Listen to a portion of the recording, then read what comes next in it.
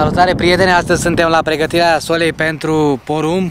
Aici se va semăna porumb. Facem patul germinativ cu un utilaj direct în arătură.